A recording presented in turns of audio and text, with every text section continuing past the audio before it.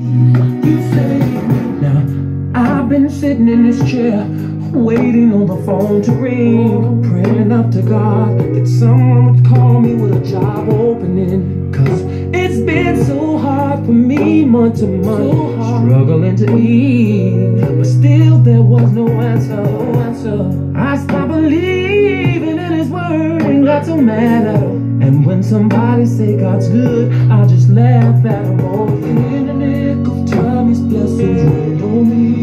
me. Grace, the phone ring. A lady says we're hiring, and that's when I know you saved me. Saved, you saved me. Oh, you saved me. Oh no, you saved me. Thank you, saved me. Now I was 18 out there on the block selling drugs with a gun at my waist, and for people I had no love. See, the streets was my home, and friends were gone. Had no one to trust, and deep inside I was all alone. And then a deal went bad one day, and it was enough to pause me.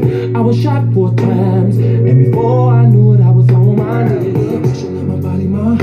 Oh, what I'ma do? I don't think I'm gonna last. Then I begin to flash back on the things I've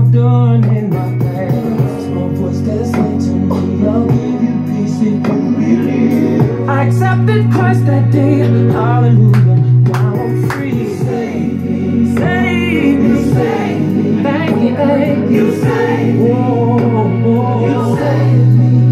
You saved me. I was in the